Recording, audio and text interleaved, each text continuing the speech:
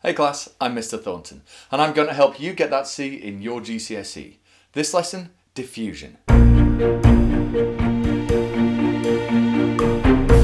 This topic was suggested by Zara. If you'd like to suggest a topic for a future video, please leave a comment just below. Diffusion is important to biologists because it's the process which allows dissolved substances to move in and out of cells. It crops up a small amount on the B2 unit, and if you're doing the B3 unit, it shows up again. For the B2 unit, all you really need to know is the following. Diffusion can happen two places. In a gas, so for example, if someone overdoes it on the deodorant a little bit, pretty soon everyone in the room is going to be able to smell that.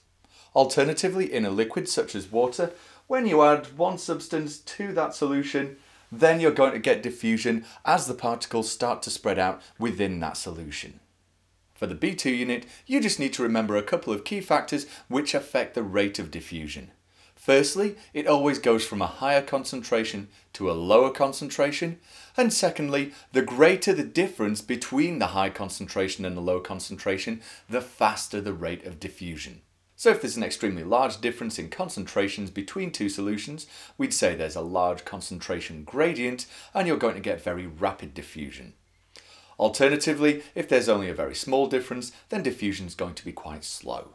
Lastly, for B2, you just need to remember that the one key substance which we focus on is that oxygen is able to pass through cell membranes by diffusion and then be used for respiration.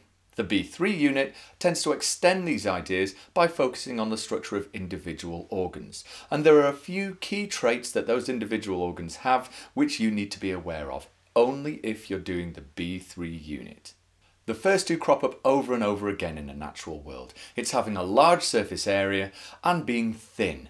So large surface areas give you a large area where diffusion can take place and so you get more diffusion and being thin gives you a shorter distance for the diffusion to move across and so the diffusion takes place much faster. Animals can enhance the rate of diffusion in a couple of extra ways. Firstly, they'll have a good blood supply to that organ. So for example, think of the small intestine and the villi on the surface of that small intestine. They've got a really good blood supply. That carries the nutrients absorbed from the food away. And of course, that increases the gradient of concentration because it's constantly lowering the gradient on one side of that diffusion. The other things which animals can do is make sure that that area is well ventilated. This is particularly applicable to the lungs and the alveoli in the lungs. So as you breathe in and out, you help maintain that diffusion gradient.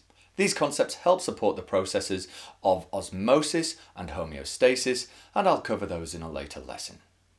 I hope that video was useful to you. You now need to check your learning with the Snapquiz. It'll only take a minute. The link is in the description along with all the other links for this video.